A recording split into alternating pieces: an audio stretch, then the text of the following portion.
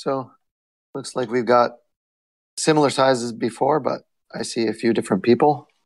So I'm wondering if we should um, just start off by asking the question of how what people think would be the most useful way to do this this time.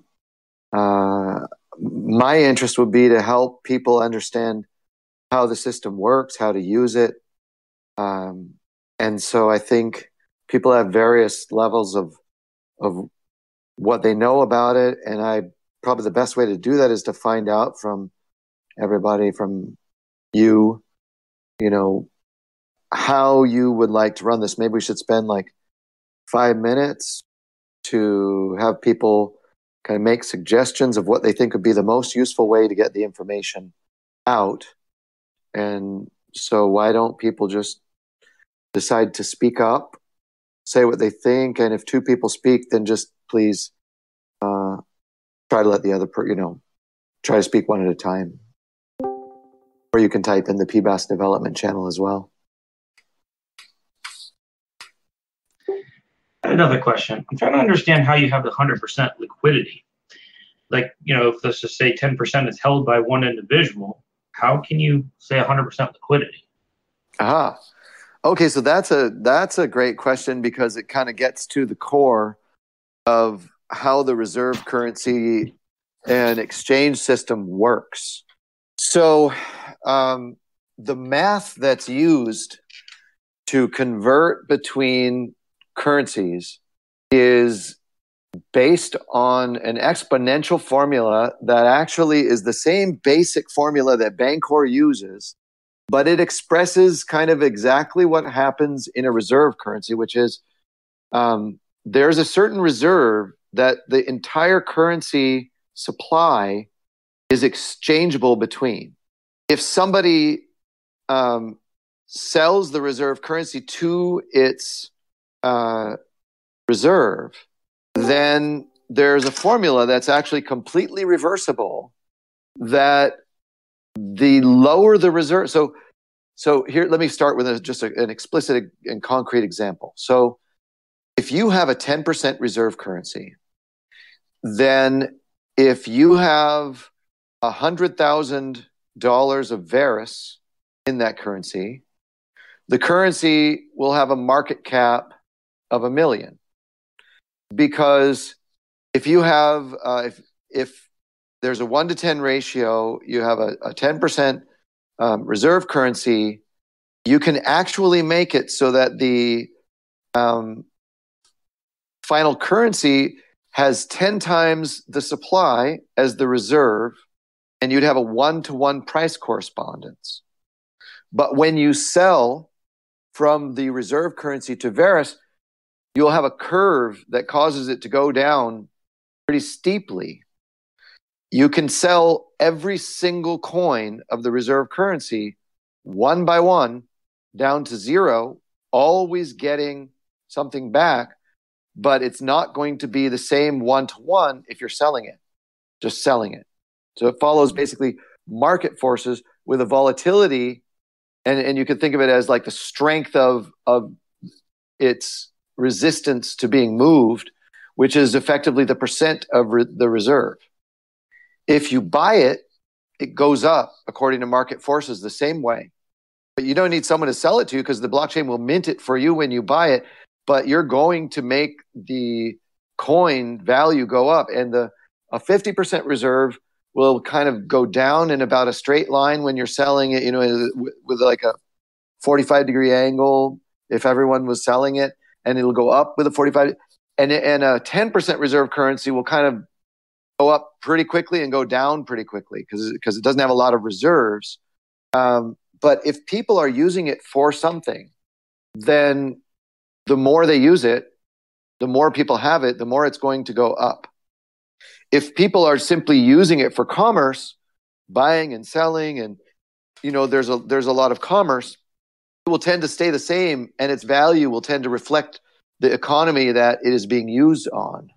If people use it as a way to, um, you know, say, make a currency that starts with a hundred thousand dollars and all of a sudden it's worth a million the next day, which you can do, you know, by market cap, then everybody's just going to sell it and take the money out and you know the people who don't sell it's just going to be like a, a race to um, a billion dollar currency and that currency is going to you know be managed. Like we're going to manage how people get it or or we're going to allow people even to mine or stake their loyalty currency you know and they can feel this connection and we can send them you know uh, little z transactions and actually get them to open them because they're going to have money in them. And we don't even have to pay you know google or microsoft to do that. You've got this connection all of a sudden to your people who actually care about your company or brand or whatever else through the blockchain and and you've got this actual currency that can be converted to or from uh, Verus or other loyalty currencies, and the and if people want to use your product, say you give a 15% discount if they pay with that currency, then they're going to be buying the currency. And if you decide that you're not going to be selling all your currency and you're going to kind of use it as a storage of, you know, your profits and things, it's going to be going up. And so um, it has a 100% like total liquidity, even with a reserve ratio that doesn't represent the entire market cap of a coin. But whether it goes down or up is really totally subject to market forces and how the coin is used, um, what it represents, pretty much in all cases. Does that make sense? Rozo? All right. Well, if anyone uh, has ideas of, you know, I think maybe. Go ahead, Michael. No, nothing. I just unmuted myself just in case. Okay. So I think uh, the question, I mean, the best way probably to handle it right now, if someone wants an introduction to any part of the system, I'd be happy to provide that. But I have this feeling since we've now done, you know, two different two different discussions prior to this, that the best way would be to let someone ask. Feel free to ask. You know, I'm sure that if there are other people who have already heard it before, but you haven't, um, that someone else might want to hear it again because there's a lot of detail here and there's a lot of capability. So I think we'll just let's just leave it open for questions about um, ideally, you know, how you can make it work or or or open questions that you have about its value or or what it does, these kinds of things. And everyone should just feel free to speak up and, and ask. And I'm just gonna wait and and let people ask. Also, if anybody, I mean, I've seen people type out ideas and things that they think it could be used for, and just like random things that come to mind every once in a while. So anything like that about locations and things like that. Uh, yeah. Uh, I got a question. Um, on the first screenshots Mike shared in uh, our general discussion, uh, I noticed he had a uh, reserve of about 50,000 uh, coins. And when mm-hmm. I looked this afternoon, it was over 500,000 uh, coins in reserve. Can you explain uh, why that grows that much? Oh, actually, uh, the one that I posted, it was my it was one that I was testing, you know, and it was a different chain. It just had the same name because it was on, you know, my local test net. And so the one that I posted just had different parameters. And I thought that it would be nicer because I was trying to, I was trying to make it as volatile and kind of trying a lot of different parameters to, to just check the equations and make sure that things are working as expected. And so when we made it available on the public test net, then I made a reserve with Premine chain that had a larger um, starting reserve and just a larger, uh, you know, a larger currency basically, um, so that more people could play around with it and probably see a more realistic case. Because the first one that I, you could make small currencies and they can grow and and the reserve just to, to address part of your question the reserve anytime someone buys the coin that will increase the reserve So a coin can grow from very small to very large, and it will appreciate all the way up. Um, so you can start coins that are not huge. The the challenge will be, you know, having like I still don't know yet when we do staking of the reserve, a chain will actually be able to pay miners and stakers and people who are interested in it with the reserves that it holds on Verus and probably have, you know, reserves left over to even replenish its reserves um, on a regular basis, I believe. And especially as the system grows and people are doing more and more commerce and you get more fees and you get more chain launches, you know, then I think um, I think that people will be able to create really interesting currencies or projects and their reserves will the, the interest effectively or but it will actually be actively staked from their reserves will pay for all the costs of um, of their chain kind of the way that a, a chain today pays for itself you know if you make it yourself but you got a lot more work to do around it and this way they get to leverage all of the things that are in the Verus ecosystem. So, um, so you can grow the reserve in a few different ways. You can buy the coin, and that you know that takes reserve. It puts it into the coin's reserve, and it um, gives you supply of the coin. It mints supply in the process. Or you can sell it, which actually reduces the reserve because then you're taking reserve from it. Um, or we, you know, there will be other ways to put in reserve. For example, I, I really think that um, if you've got a coin with a large reserve, that the way that the staking, the way that I'm thinking the staking will work is if you're notarizing that chain, and the way you notarize a chain is you're either merge mining or you're staking on that chain, so you have some of its currency. And the fact is that notarization of a chain into Verus will be um, weighted so that the notaries are, and this is just natural just because of the protocol, so that the notaries are more often than not stakers of that chain. Because all of the stakers, every time they get a block, if it's within a time period or like a, a block period where they can notarize, they have an opportunity to notarize, which is an opportunity to make the benefits of notarization. For merge mining, the only way that you can notarize across chains on a merge mine is if you actually do merge mine a block. So if you're mining on Verus and you're mining on a chain and you merge mine so that you end up with the same header for both chains, you just earned the right to notarize. And that proves that you're not just some random miner, you're actually a pretty, you know, you're mining on Verus and you got a block. And so it kind of gives you a little more a little more credibility if you do that at the same time as you're all lined up.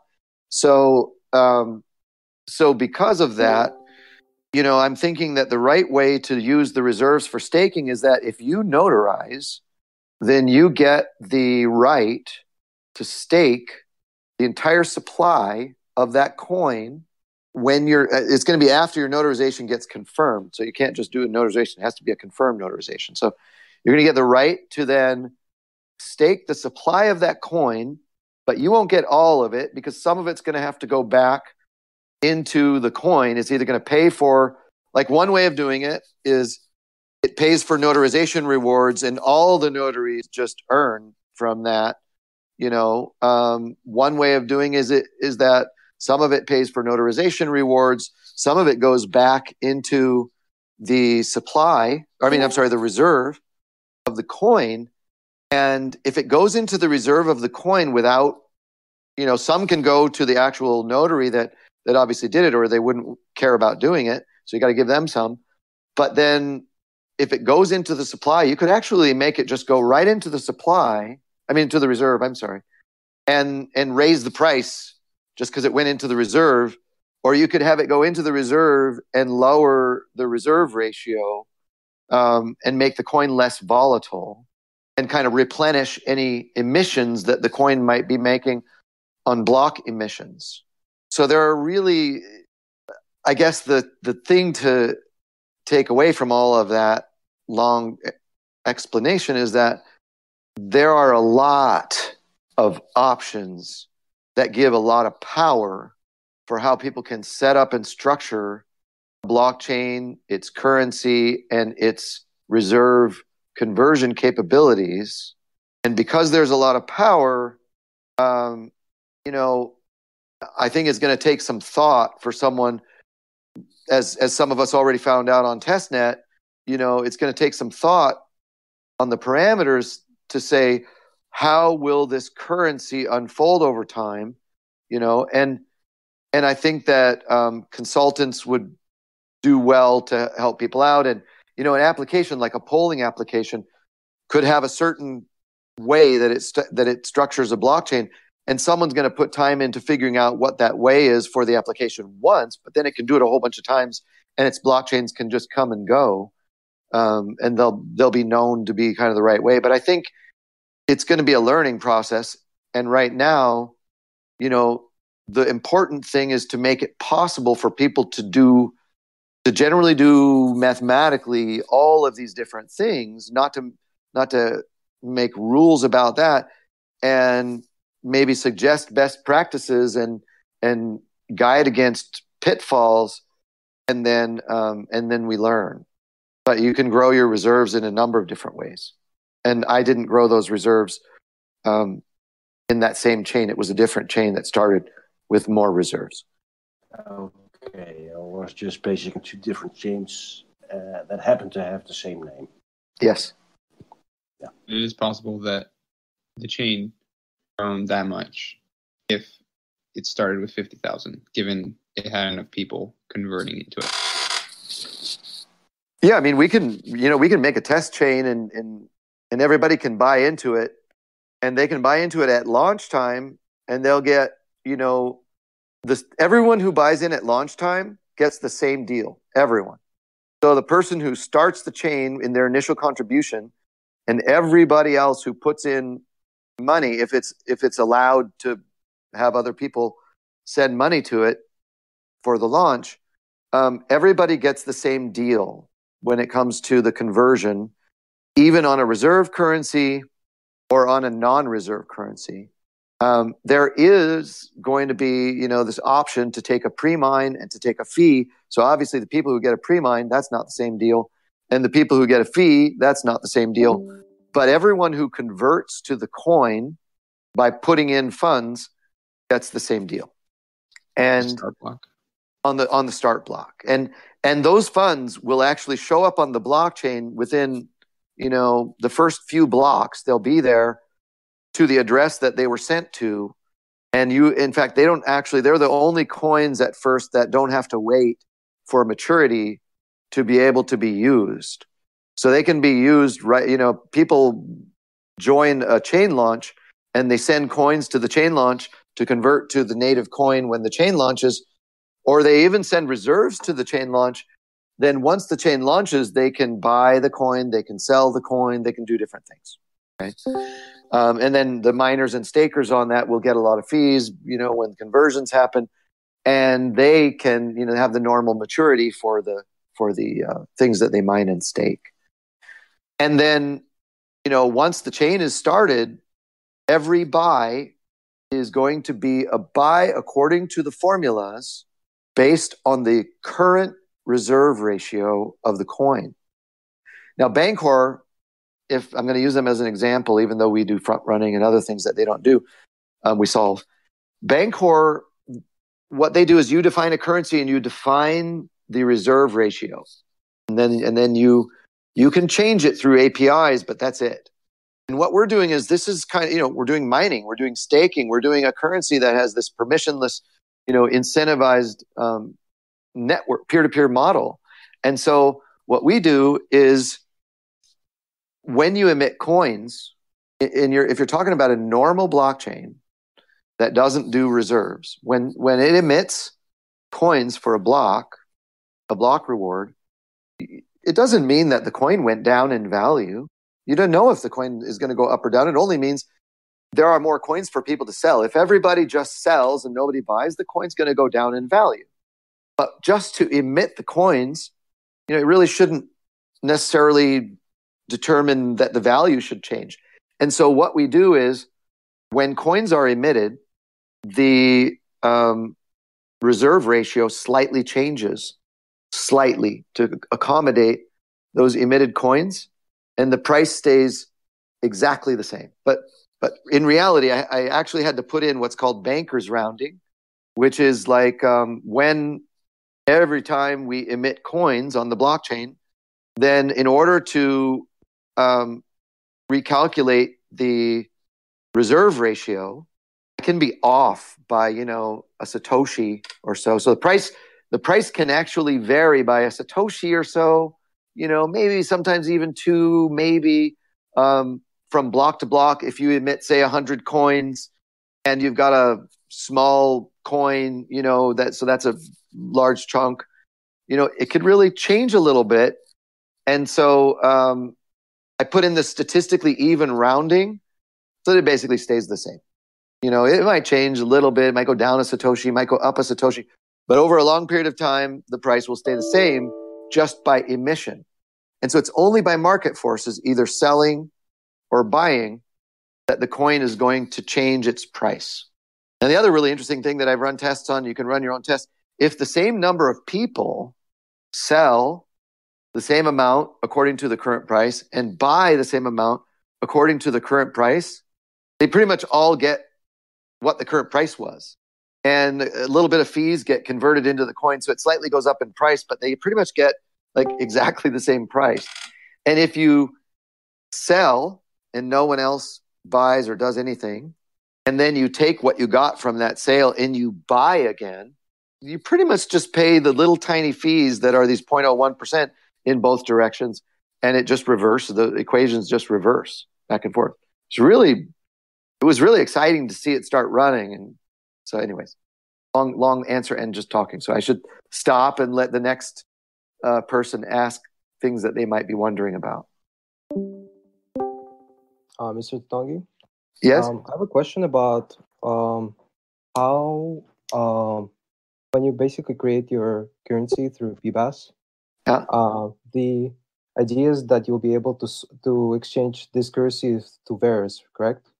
And I was just wondering how it's going to be done. Is it going to be on a certain platform where your coin has to be listed along with Verus to exchange it, or? Oh no, uh, no, it it, it it, it Oh, thank you for asking that because maybe other people have that question. It, it already works today on testnet, and it doesn't require an exchange at all, and it's just built into the protocol. And this is the reserve currency protocol. So um, you can try it out on testnet. Uh, we're gonna I am to make an update that'll have features like the refunds working really nicely and, and these kinds of things and, and, and address some things that we found. So you can, and there will be a GUI coming in. I don't know exactly when, but as soon as it's ready. Um, but no, the protocol is what does that. The protocol and the blockchain is effectively acting as the market maker and managing the value between the different currencies based on formulas that follow you know the market behavior of the um, people interested in either buying or selling the currencies. What it doesn't do is it actually doesn't leave room for um, you know people whose primary focus is to skim off of you know other people's losses it doesn't really leave uh, room for that it does leave room for arbitrage, as we talked about earlier, so that you know exchanges for coins can still make sense because there's going to they're basically basically the exchanges end up being futures markets for the coins um, because the blockchain is always the final price for these coins. But no, it doesn't require. There's no listing. There's no cost to have this work for any uh, project in the ecosystem.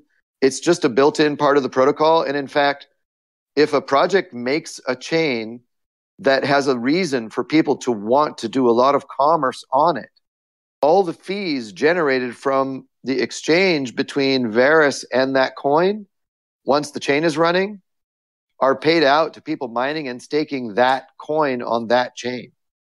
Okay, thank you for your answer. Mm-hmm. Does that um, answer the question? Yeah, yeah, it does. Okay. I'm, I'm, not really um, sure about all the technical details because um, I still have to do research on this. Okay. But also was wondering about uh, what you think about the Atomic Dex launch. Uh, what do you think of it in terms of like increasing liquidity for Verus coin? So I think Atomic Dex is great, and I actually. So here's the thing: Verus coin enables people to create the, the first release enables people to create currencies that are fully liquid across the entire Verus ecosystem. And as the ecosystem grows, when people do that, of course, Verus is going to naturally have more liquidity because everybody doing that is, you know, they want liquidity for Verus as well.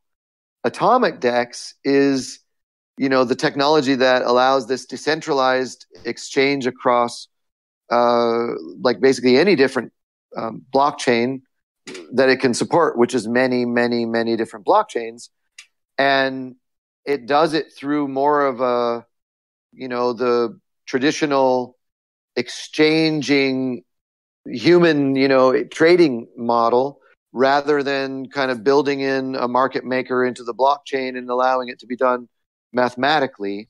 And so, um, but it also bridges, it can bridge the entire, you know, Verus ecosystem with other, through Atomic Dex with other blockchains. And so it definitely, I think, is it's a great thing that they launched their public beta, and I I hope that it works super well. I hope people use it, and it and it ends up being another decentralized tool for liquidity across the entire crypto ecosystem, and I think that's great. And and so um, yeah, I think it can be another piece of the puzzle for the for the you know worldwide liquidity across everything then there's also, I, I should mention, because it's something that we're going to end up doing at some point, there's also going to be the ability. So right now we have this built into the protocol and testnet, and it works with these super low fees, and all the fees go to miners and stakers, and there's no one, no company, because we're a community coin. There's no company taking anything out of it. And so it really provides an opportunity for people to create these currencies without having to pay exorbitant fees. And if they've got great consultants, you know, all the fees they like everything they would have to pay could just go to consultants to help make things work even better.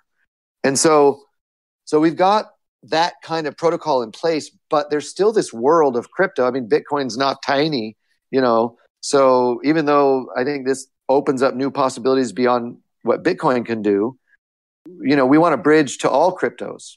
And, you know, so what Bancor does is they create these um, they're called these exchange i actually I, I, think of them as exchanger tokens I, I, think they've had a few names. I don't know. They might relay tokens or different things like that.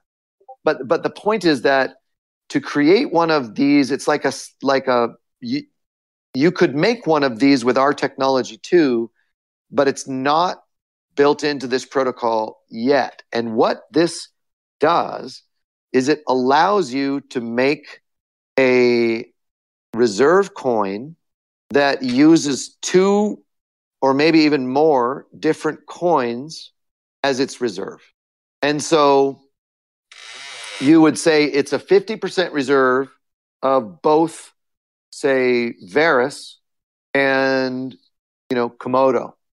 And then um, anyone could buy that coin with either Verus or Komodo and sell that coin to either Verus or Komodo according to the same math that we're using for these uh, reserve, fractional reserve um, currencies. There is a difference.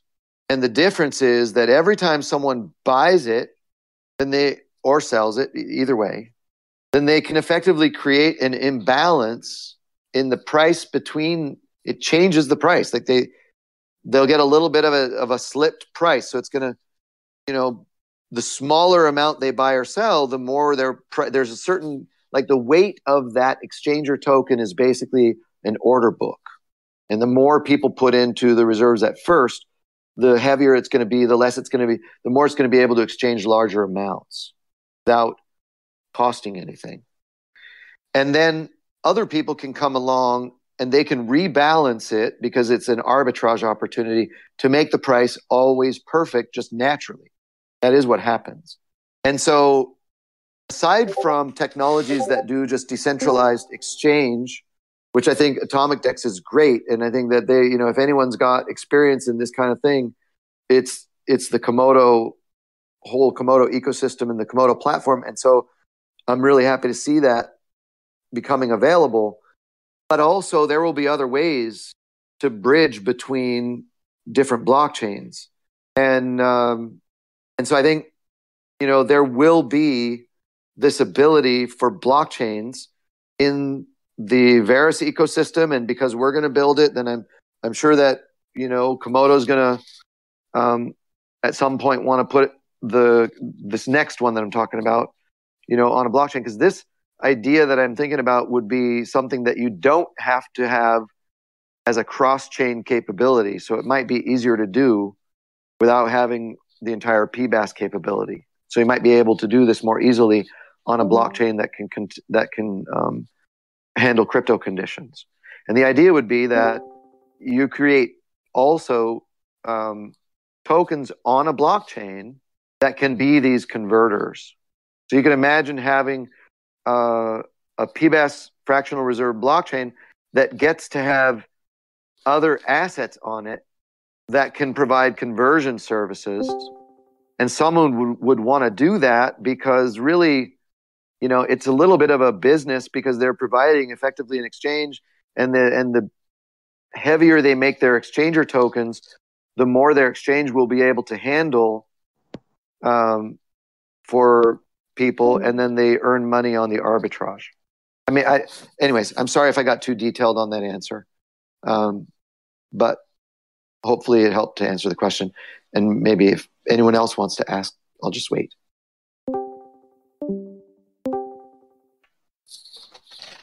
Okay, I uh, I know this was asked yesterday and you answered it yesterday, but I think there are some people in here that haven't heard that answer yet. All right. Uh, what will be advantage for uh, the general miner to merge mine? Oh, that's yeah. So that is a great question because merge mining, I I am really looking forward to having um, merge mining real chains and real projects because so right now you know the the whole blockchain mining community is really it's all about block rewards. I mean, you're always it's always just about the block rewards. And and I my opinion from the very beginning is that that's really good, but I actually don't think that that is a sustainable system over the long run because blockchains can do a lot more than just process the transactions that move the numbers, you know, that keep the ledger and in order to do that like just this 0.01% fee for exchanging. Like uh, on Binance, if you're doing $100 million a month of volume yourself, you'll get a 0.05% conversion, like exchange fee. You'll still have to deal with a spread. You know, this model says everybody, no matter how big or how small your conversions are, you pay a 0.01% fee because there's no need for Binance for this you know and and oh boy that's recorded huh we want to be listed on Binance. they should list Verus because they should list Verus because all the volume is going to be behind it. But uh, but what I'm saying is that when people are converting on Verus at 0.01 percent with no spread, how can you get a better deal than that? Really? And at the same time, miners and stakers, like, you know, when I started that reserve with Premine chain on uh, testnet, I earned 56 uh, coins on a 24 block reward, you know, coin. I earned 56 coins in fees, you know, just from converting to the uh, 500,000 reserve or whatever was in 550,000 reserve or whatever's in there. You know, that's a lot of fees and and actually that was um, if you've got a chain that's doing a lot of conversions because they've got interesting things to do the people who are doing the conversions feel like they're getting a fantastic deal and geez miners and stakers are only taking this tiny bit but compared to what exchanges are making today, we just disintermediate the whole need for that thing. And the miners and stakers are really the ones making everything happen. So they get all the all the rewards and they'll be, you know, it's like more than we've ever had as miners and stakers.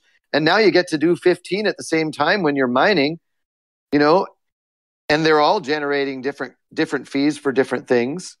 And you make those oh, and and I think I mentioned it yesterday but if you're mining just on Verus, like, okay, merge mining, you get to do notarization, you get to make money on that. You get to make money on all the different chains. If you're merge mining reserve chains, the money you make is all convertible. So it's basically you're just making more. Um, and if you're if you're mining on any chain like Verus, just Verus, and other chains are sending transactions cross chain from Verus to the other chain. You make money on the uh, export and import transactions that you don't even have to merge mine or stake on the other chain to make. So when you export, mine when you mine on Verus, this is part of the uh, high scale cross chain transaction capability. When you mine on Verus, you're actually every time you make a block, you're aggregating because it's profitable to do you're aggregating all the exports to other chains and if there are you know a few hundred chains running across the Verus ecosystem you don't have to be merge mining or staking them to export to, to aggregate their exports and when you do aggregate their exports you get to mine that in and take an export fee if you're the miner that aggregated their exports you get to take an export fee which is actually can be significantly bigger than normal transaction fees but the person who sent the cross chain transaction, because you're aggregating, actually doesn't end up having to pay much more than normal kind of fees. And so you get to aggregate this. It's a little more, which means that's why you make more when you aggregate it. You get to aggregate this.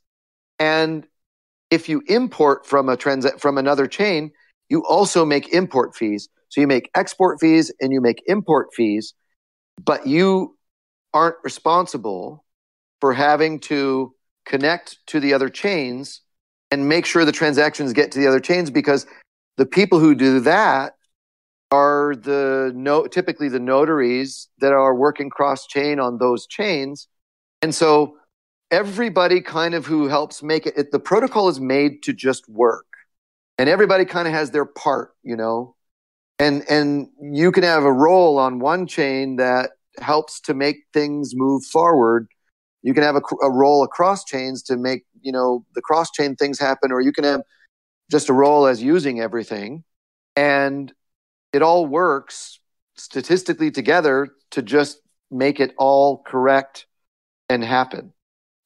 And um, and everyone makes money when they do their part in any of those roles across any of the chains. And and because it's all liquid you know it's all just money in the ecosystem but the ecosystem is just capable of doing much more does that make sense yes it does. Uh, in short uh, if you mine or stake you earn uh, a lot more than now. Yeah you're you're contributing to more commerce as the ecosystem grows then you know then a single blockchain, almost any single blockchain as we really grow, probably, you know, I think this whoever ends up doing something like this and being the one that really grows, you know, to to offer these services to everybody who wants them, um, I think this model can offer uh, more earnings for people who make it happen because they're making a lot more actually happen than than a normal blockchain. Okay, thank you. Thanks. So, uh, any other uh, question? Um, if there isn't, you can feel free to interrupt me. But um, I'm gonna have to go in a few minutes. So I was just thinking, uh, I could describe basically of how you would currency and maybe the how easy it is to use it on the GUI that's going to come out soon. So I want an idea of that'd be great for me anyway, functionally. I'll be quiet, and that would be great for me. For I think other people would probably want to hear that too. Well, um, so start with uh, some of you I know have used the previous GUI test wallet and have created your own chains through that. Those of you that haven't, uh, basically there's a PBaaS screen if you're using the Verus testnet, and it's like a tab. So if you go there, reserve currency, um, it's to do is go to the create tab, and you fill out in a form. I think it's like steps maybe, or yeah, I think around six steps. It's just you just fill in like the name of your chain, um, five certain things about it. You say like what you want the reward structure to be. That's how it's been so far. Reserve currencies being introduced. Um, now you can actually specify, first of all, if you want it to be a reserve currency. You don't have to make a reserve currency. But if you want it to make a reserve currency, please check a box, fill in how much you're going to contribute initially to the reserve. Thought about this idea of like maybe the public contributing and to your chain for a fixed price before it launches while it's been declared uh, and all that goes toward your reserve but contribute the entire reserve yourself so say you wanted to have initially by a million Verus. Well, if you had a million Verus, you could just put it there yourself and full owner of the coins on your chain if you wanted to be. To contribute, you could open it up. Basically, it's like one button. You just check it, and all of a sudden, your chain can be opened up for people to contribute. Minimum amount that gets contributed, if it's below that amount, um, it won't launch if people haven't contributed that amount, like the Kickstarter model that we were talking about earlier. This is all basically how it works in the client that prefer using a graphical Um, user interface. Can I? I'm sorry. Can I just say one thing because of what you just said, and I want to just add. I think we should. I think just to be respectful of Kickstarter, as you know, we're this community and it's a company, it's a brand. We probably always want to think about saying Kickstarter like because we're not. We would never want people to confuse that. You know, this is in fact somehow connected to that brand. It's way better than what they are, but you know, if we refer to it that way, they might kind of get upset. Okay. Thanks. Kickstarter like checkbox used anywhere in the interface. It allows people to come in and fund your reserves for you before your official start of the chain in for a fixed price, and then anything Verus test coins later, the Verus coin that they buy in with gets added to the reserve of the chain when it launches. Um, you can set, like I said, a minimum amount and a maximum amount. The minimum amount, if your chain doesn't reach it by the time it starts, it won't launch. If you reach the maximum amount, then contribute anymore, and it'll launch. And uh, the rest of the stuff is pretty. In chain is pretty simple and self-explanatory in the form. So I'm gonna skip over that for now.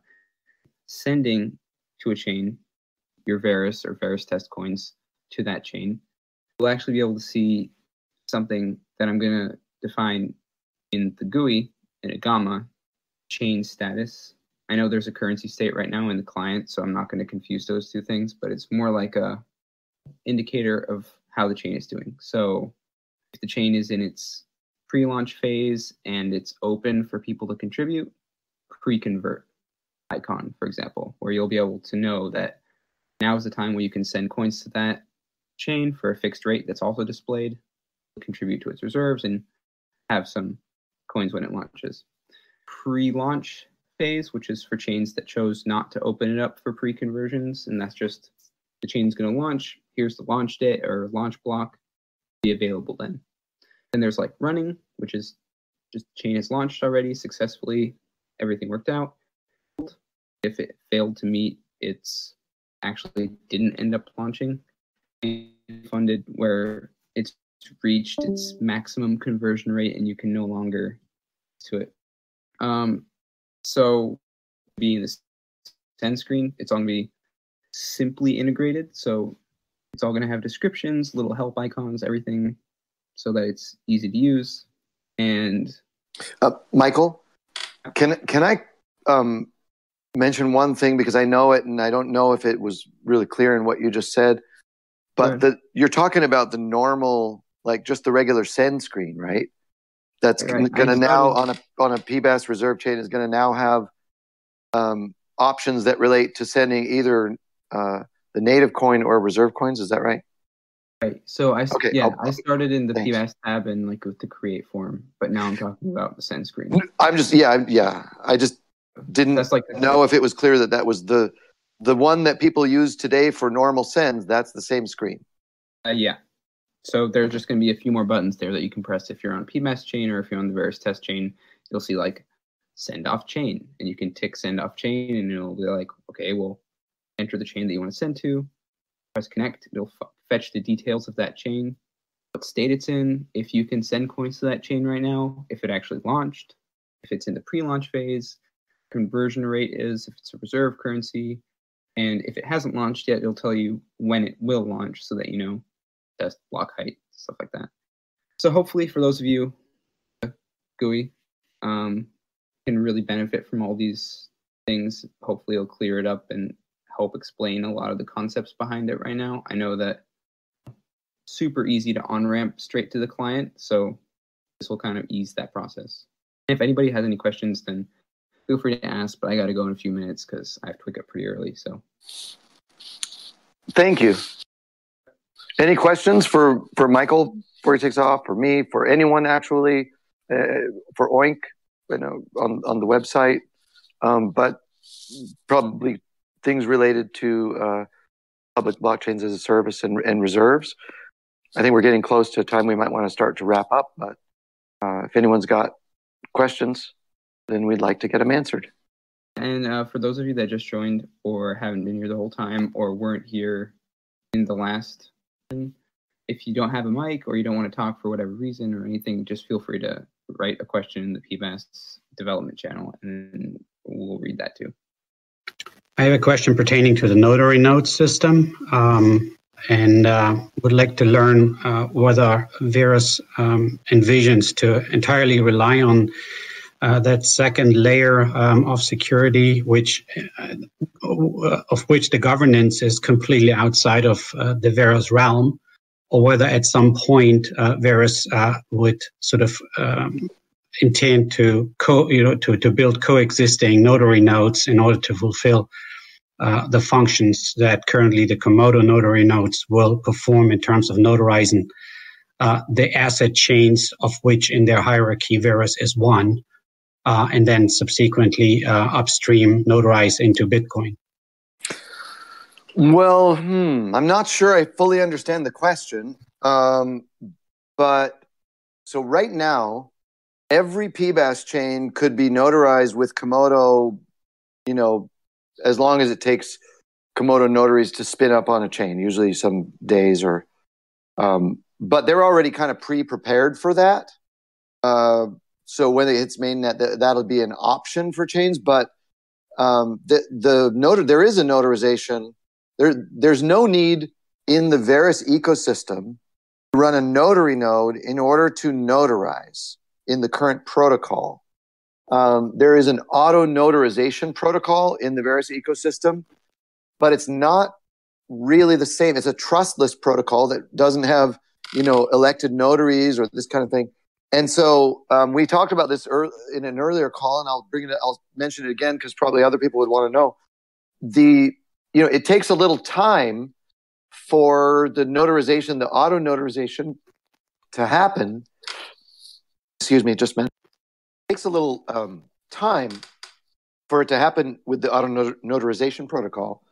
But with Komodo, you know, you have this kind of trust built into the notary nodes, the the group of notaries, and so the my thinking on that is that we need we will have at some point like a notary list or or you know notary group for any chain or group of chains and komodo notaries could be that group each chain Verus is actually notarized by uh, komodo and and so it's also you know participating in this cross notarization across the various uh, PBaaS chains.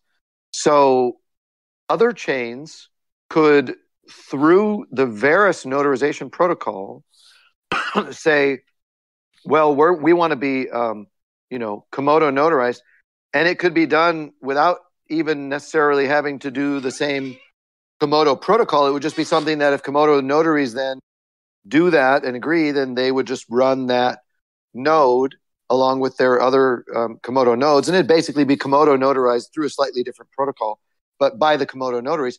But a company or an industry group of companies might say, you know, we want every member of our industry group to be the notaries that we trust. And so the way it works right now, um, Verus has its rules that are these auto notarization um, cryptographic rules that it requires in order to trust a PBaaS chain. But the PBaaS chain can have its other its own rules for how it decides to trust even Verus or other chains. If it has a better way or a faster way or a more centralized way or less you know there's not less centralized i guess but a, different way you know then it can choose to use a different way. So um, i'm not sure if that answers your question. Yes um, it sort of reinforced sort of my understanding that the the the Verus ecosystem has auto notarization amongst its own um, PBaaS chains, whereas Verus itself is an asset chain to the Komodo ecosystem and is sort of upstream, pulled notarized, um, or, or, is notarized by the uh, Komodo notary nodes. Well, which... Verus, Verus isn't. Verus is was has always been a friendly fork of Komodo, you know, meaning it's not exactly an asset chain because it's so right now the Verus daemon is in fact, um, you know, not compatible directly with the Komodo daemon except through the protocol level, and we work, you know, together across teams to try to make sure that we, you know, help each other get technologies. Um, but it's not really exactly an asset chain. I understand that uh, okay. now right. better. Um, and with that differentiation, still Verus is being notarized by oh, yeah. the notary nodes yeah. um, of the 64 notary nodes uh, of the uh, Komodo system, and then in turn upstream into Bitcoin. So the fundamental security of that layer into the Verus ecosystem or the interface is basically uh, the, that notarization process to which the Verus daemon has to stay compatible in order to be regarded amongst all other chains that are notarized through the uh, uh, the 64 notary nodes. Yes. Yes, correct. The proto okay. compatible at the protocol level. Yes. And and and also the you know that's one layer of security, and then the Verus um, proof of power protocol, the consensus protocol, also has you know math like is mathematically provably 51% hash attack resistant. Okay, so that in com- in in conjunction with the auto notarization within the Verus system makes basically an own notary system outside of that what's already in the protocol obsolete or uh, unnecessary. It's only upstream then, sort of adding the layers up to Komodo and, uh, of course, indirectly then all the way up into Bitcoin. Uh, that sort of requires and this uh, sort of is the interface to Komodo. Everything below or everything uh, uh within the Verus ecosystem is basically uh, uh, entirely self-managed and governed. Every, well, it's not. There's no real specific governance model across the Verus ecosystem besides what it's capable of and the protocols that bind the different independent chains because um, every single blockchain started as a PBaaS chain or even a reserve chain is actually a fully independent blockchain, can be mined independently, staked independently. Um, but in order to do the cross chain operations, you know, needs to have this auto notarization or, and and later probably we'll have options for um, other forms of notarization that people might want to to provide well does that make Yes, uh, governance was, uh, in, in the sense that I used it, was meant uh, both uh, towards sort of the definition of the incentive system, as well as, of course, uh, govern, governing sort of the technical details or the definition of the protocol. And that, Understood. Of course, and that of course is, is separate for the Verus ecosystem on downward, whereas sort of the Komodo the, the Komodo uh, ecosystem and their concept of asset, you know, uh, outside of the realm of the the, the Verus PBaaS ecosystem entirely. That's correct.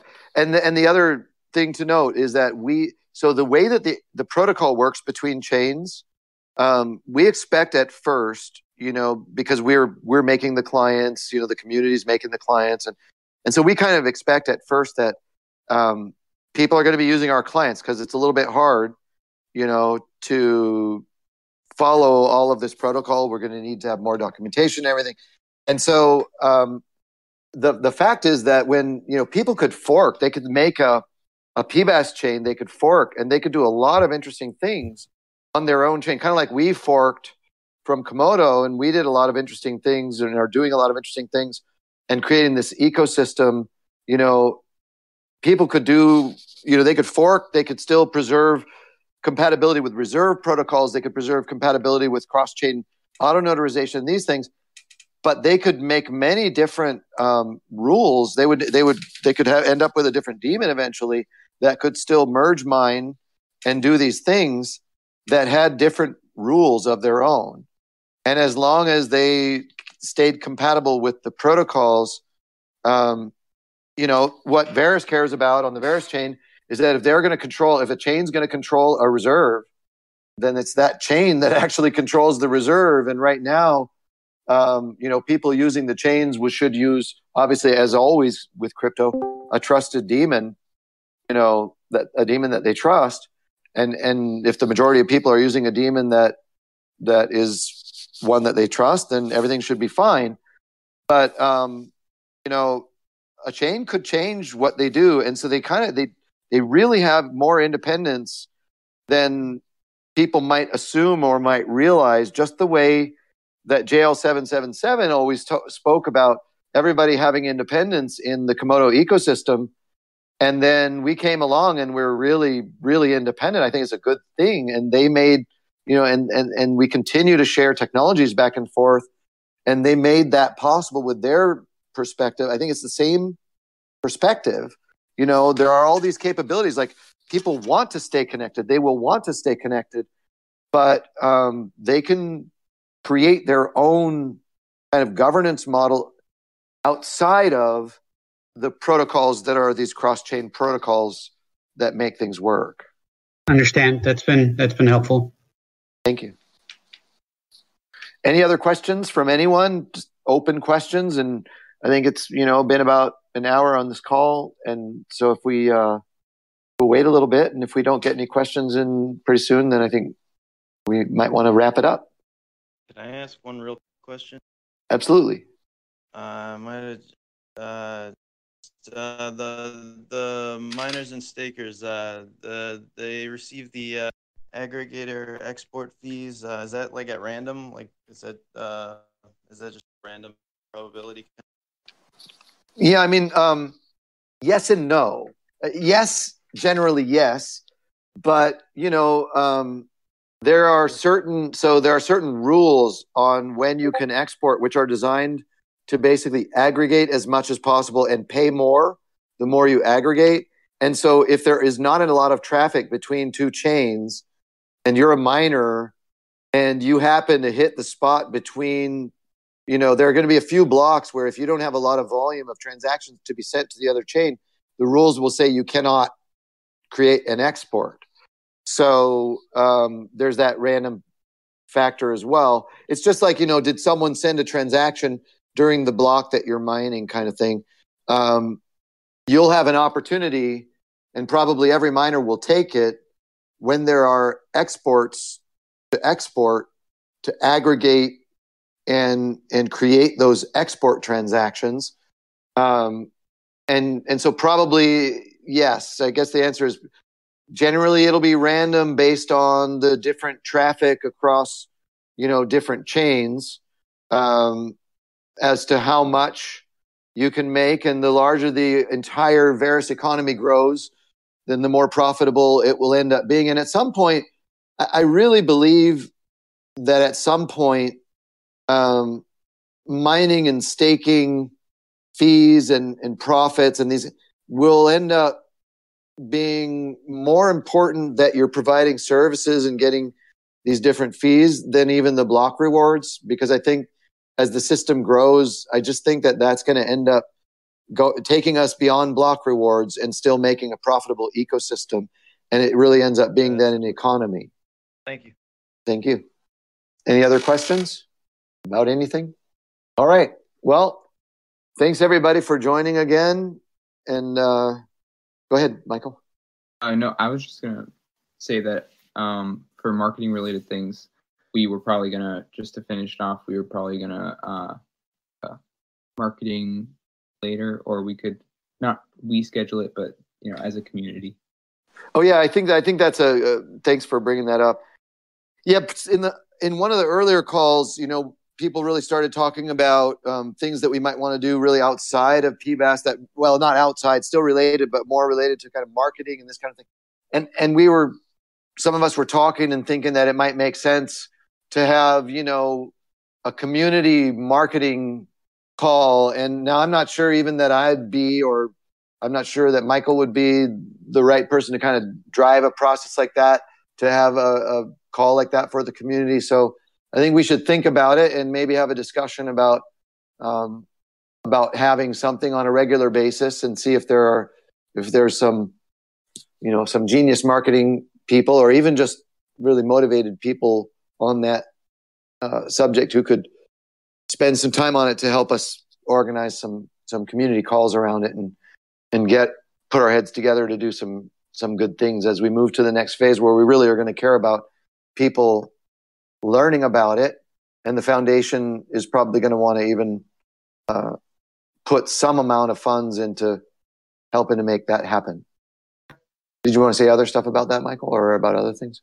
I mean that pretty much sums it up. We have some like going around to different places so it'd be good to have a call to kind of organize them all and get it together but like you said, you're obviously focused on the core stuff right now, fixing everything that we find, and I'm really focused on fixing the first and then obviously refining it and adding more things. So if anybody in the community, you know, has an idea for when we could organize the call or knows how to set for basically any ideas, then feel free to bring them up in the marketing channel, I guess. All right.